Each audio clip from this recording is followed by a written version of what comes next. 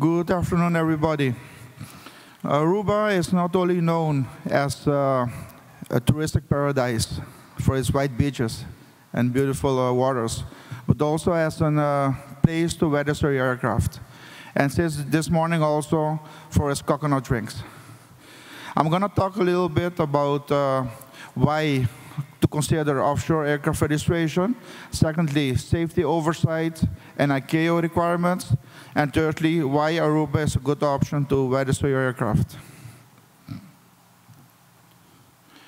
To begin with, it might uh, sound very common sense. And uh, they say, you know, um, preach to the church, but it's very important when you buy an aircraft to seek professional assistance and guidance. It's something that we see in the office that sometimes is not really done, and uh, with all consequences for the transactions. Um, important is to get guidance um, on the legal basis, financial, taxation, and also operational. I think here in this room there are plenty of people that are fit, willing, and able, and eager to provide and qualified to provide that assistance. Once you have that assistance, it's important also, before you do a transaction, to consider where to register the aircraft. Not all aircraft registries are the best for every transaction, so it's worth considering the alternative jurisdictions called offshore registries. In many big countries, it's a habit. It's, it's common to register aircraft locally. So offshore registries are not really considered. But it's important to realize that uh, where you register aircraft is actually a choice. It's your choice. Aircraft are not only registered offshore to minimize taxes. Offshore registries are more customer-focused and service-oriented to attract international businesses, and their neutral registration marks provide global travel with confidentiality. Nowadays, more and more operators realize the advantages of offshore registries can offer in terms of operational flexibility and quality and speed uh, of service. Many of the offshore registries are mainly focused on the business aviation market, so they cater specifically to that market. Uh, I was in Hong Kong in uh, Asia last week, and uh, many operators still tell us that they're not really happy with the local authority because the local authority focuses very much on their flag carriers. So they don't really uh, give a lot of attention, give a lot of uh, time to the business aviation. And that's uh, an important reason for many of them to consider offshore registration.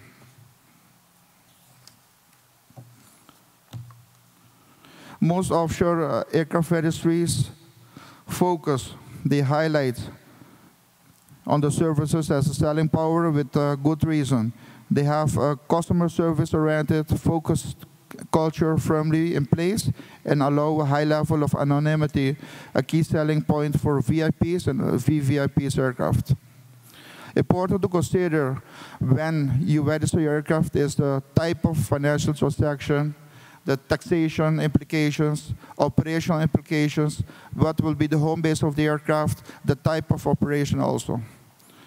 Um, if you consider where to register aircraft, it's important to look at the legal consequences, the operational part, the taxation part, and also the financial part. Important is, before you do the transaction, to be sure that you have done your research, that you have everything in place, so that um, not to get surprises after the transaction is done. Secondly, I'm just going to elaborate shortly on safety oversight and ICAO requirements because it's very important that uh, the jurisdiction, the aircraft registry you choose, is a reputable and, uh, and, and, high standard uh, aircraft registry. Offshore aircraft registries are not registries of convenience, as many may think sometimes. They are well regulated and uh, regularly audited by ICAO and sometimes also by the FAA and the EASA. The main purpose of offshore aircraft registries, like any other civil aviation authority, is to regulate civil aviation, to promulgate a safety culture, and exercise oversight over aircraft under its nationality. ICAO, on, under its USO program, monitors each civil aviation authority, including also the offshore aircraft registries. These include online audits, but also on-site physical audits. Uh, the ICAO audit, audits focus on the state's capability in providing safety oversight by assessing whether the state have effectively and consistently implemented all ICAO annexes. And um, this is as a result of the Chicago Convention of uh, 1944 that ICAO has issued the, up to this moment 19 annexes. Each of those annexes has to be implemented by each country in its own national aviation legislation system. Uh, important for this conference is the following annexes. Annex 1, that talks about personnel licensing. Annex 6, operation of aircraft. Annex 8, airworthiness of aircraft. And also Annex 19, the uh, safety management. When an audit is performed by ICAO, either online or um, a physical audit, ICAO focuses on eight areas. These areas are called critical elements. These are as follows. Crit critical element one is the primary aviation legislation. Critical element number two is the specific operation regulations. For example, FAR 91 or FAR 121. Critical element three is the state civil aviation system and the safety oversight functions. Critical element four is the technical personnel qualification and training. That means that each inspector that is employed by the Civil Aviation Authority has to be properly qualified and properly trained. Critical element five is technical guidance, tools, and the provision of safety critical information. Critical element six, licensing, certification, authorization, approval obligations. Critical element seven is surveillance obligation. This is important. Each state needs to have a safety oversight program in place and properly implemented. Critical element number eight is a resolution of safety concerns. So that uh, means that the state needs to have a system on how to deal with findings and how to deal with violations of regulations. Um, when, when an audit is done, when an audit is accomplished, either online or physical, ICAO will um, grade, will score that country. And that is expressed in a percentage, for example, 60, 70, 80%. Uh, important is to know that at this moment, worldwide, the average score of every country worldwide is 70%. So that means that there's a lot of work still to be done. And ICAO is committed with uh, every country to um, elevate, increase the level of effective implementation of that country to worldwide uh, reach at least 80%. There's no country that has 100%. Um, um, so most countries have uh, between 90 and 50%, uh, but the worldwide average at this moment is 70%. What are the consequences if an aviation authority does not comply or does not have uh, effective safety um, oversight system? Uh, first of all, the first consequence is it will affect the resale value of the aircraft. A weak authority means a weak operator, means unsafe operation, uh, it means risks, safety risks. Uh, secondly, um, the lessor or the financing agency might require the aircraft to be registered in, a, in another state, a state with high safety standards. That's, for example, why several aircraft were registered in Aruba because the lessor were, were confident with the safety oversight applied by Aruba. So uh, many aircraft were registered in Aruba because of that reason. And thirdly, if safety standards are not met, aircraft registered in that jurisdiction may be banned from flying into airspace. Uh, for example, the EU blacklist is a good example of that. So that means that all aircraft that are registered in your country will be put on a blacklist if you do not comply with the basic safety requirements.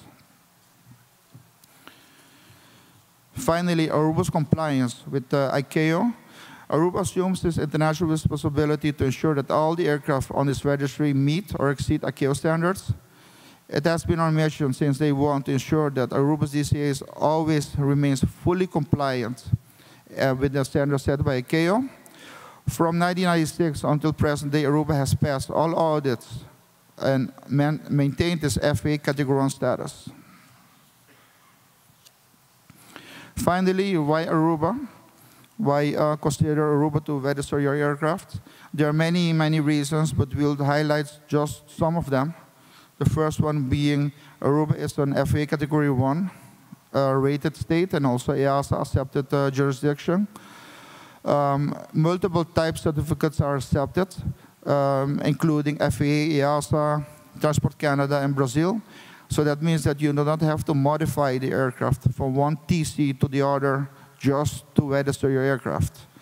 Uh, favorable taxation regime, OECD whitelisted, certification and inspection services on demand, speed of service, no bureaucracy, political stability and neutrality. Uh, Aruba, by the way, is part of the Dutch kingdom, uh, so that ensures political stability. Highly regarded jurisdiction reputation, support services 24-7. This is very important. If you as an operator have an AOG on a Friday afternoon or Friday evening, and you need a ferry flight, uh, we're going to help you. Uh, so you don't have to wait until Monday morning to uh, continue with your operation. So that is something operationally very important. Also, we have support staff worldwide available. We have inspectors worldwide. We important is we have a flexible ownership structure through domiciliation. So you do not have to um, form a special Aruban uh, um, company in order to register the aircraft in Aruba. And the last, we have uh, a lot of agreements with other countries that make the operation into that country very, um, very much easier. Besides aircraft registration, Aruba offers another um, um, amount of services, which include consulting services.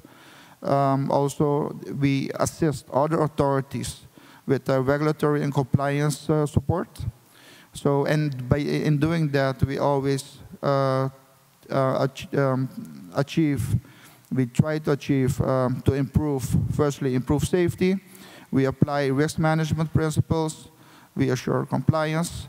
We improve business performance. We improve cost control and also the revenues through services.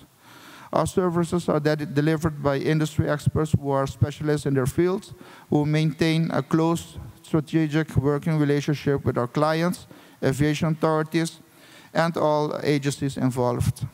So in, in summary, our expertise and our core competencies are, um, of course, aircraft registry, but also aviation legislation, civil aviation regulations, human factors, uh, authority personnel training, aircraft inspection, airworthiness and maintenance, flight ops, AOC certification, and safety management.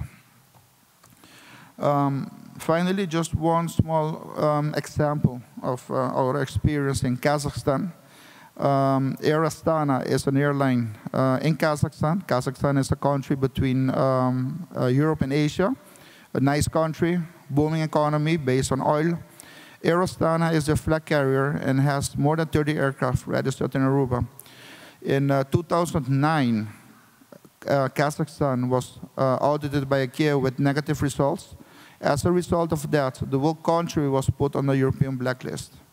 What happened then is, um, because of the fact that the aircraft were registered in Aruba, Astana got an exemption and was still able to fly to Europe despite the blacklist.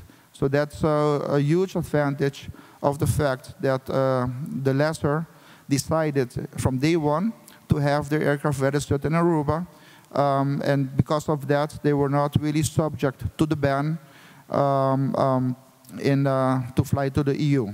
So that's uh, just to illustrate uh, one big advantage of uh, going offshore. Finally, just to share with you, um, um, this is a nice picture of our um, flagship uh, aircraft, uh, Boeing 777 VVIP. So just to illustrate that uh, we do not only register small um, corporate uh, jet uh, aircraft, but uh, also um, bigger planes like this one. So uh, really size does not matter. So that was it. If there are any questions, please feel free to um, ask them. Okay, there's one question on Slido. Um, Nice, easy uh, abbreviations, acronyms. Does Aruba have the ability to approve PMAs, DERs, and STC that are acceptable to FAA and, and EASA? Yes, we do. We basically accept all STCs and EOs and all um, uh, paperwork that is already approved by the FAA or EASA for that particular aircraft. Yes.